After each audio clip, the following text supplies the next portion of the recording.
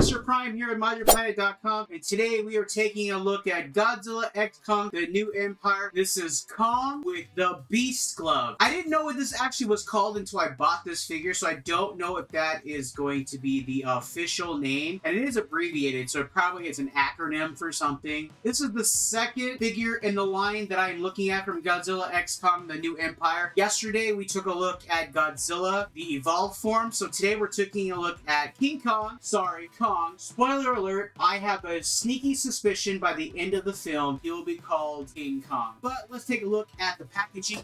Again, it is this new open packaging thing. I'm not a huge fan of it. It is what it is. It doesn't have a lot of accessories. It has one accessory, which I think is like a gunship or something like that. So let's go ahead and take a look at the back of the box. We've got Kong. It's, oh, here we go. It's Bio Enhanced Augment Sensitive Thunder Glove. Okay. And it comes with the uh, Bio Mini Eve I'm assuming that is some kind of device. Again, it says fully articulated and posable. As we saw with Godzilla yesterday, that is not 100% the case. It does have the same, I forgot to point that out yesterday, but it has the same kind of like you know, general information about the movie. I do like he has some battle damage on him and stuff like that. So let's go ahead and let's get Kong out of his packaging. Here's Kong out of his packaging, and I have to say, guys, this is kind of cool figure. It's it's actually very very heavy, and if I was gonna be completely honest, I feel like this figure is actually has more articulation than Godzilla did. But before we take a look at the figure, let's take a look at the accessories. It comes with this yeah, basically what this is.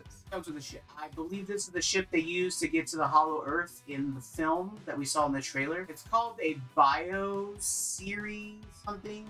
Bio Bio Mini Heave something. It has like this little uh, like you know little piece right here. Honestly, for this being a, a toy for a four-year-old, I'm actually very impressed with the sculpt. And you could customize this. You know, you could add maybe the windows in here, maybe add some you know some battle damage, some more little detail. But it does have a lot of fragments and little like details in the plastic, and it's a soft plastic for the most part.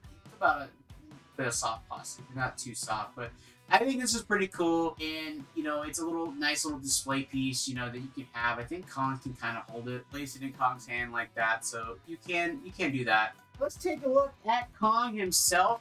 As I said at the beginning of the video, he has this very cool like battle damage like scar, and I'm pretty sure that comes from King Scar himself when he gets hurt in the film. He has good paint work, sculpting work is great. Let's take a look at the articulation. His he has full he has full articulation. He has elbows, get you know 90 degree. You get basically a spin around. You can almost do the iconic Kong pounding. Uh, fingers, no articulation, but he does have wrist movement. Move. He does have wrist movement, which is actually pretty cool. I actually really dig that. Over on the hand, the only thing that the beast arm loses is the articulation in the elbow, in the wrist.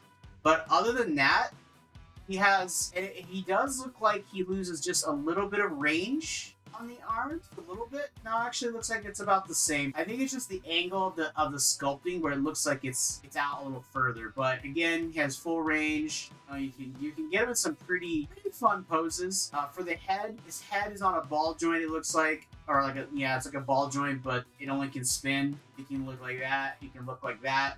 No mouth movement. Okay, you, you, get a little bit of a tilt. Just a little bit. So you can't do that. Uh, he has no waist. Actually, no, he does. Nope, he does not have a waist. It does. It looks like it right there. It looks like it, but I think it's just the that's just the molded detail. And then for the legs, it is he gets a knee bend and he gets a thigh bend and it's outwards like that, and that's about it. You can put him into some. He is very top heavy, so you know you can do like some of the iconic like gorilla poses. The only issue that I have with this pose is that he can't look up. The only issue I have with this figure is that he can't look up. I do feel like he is very, very good figure. And let's take a look at some of the, the details. So first, let's take a look at the head sculpt head sculpt is amazing. I, I, love it. Like the eyes, little orange dots in there, but you know, and it looks like uh, it looks like the, the mouse painted too. So that's that's definitely something. That's definitely a, a, I'm okay, I'm cool with that. And let's take a look at the Beast arm. It looks like we got some text on here. We got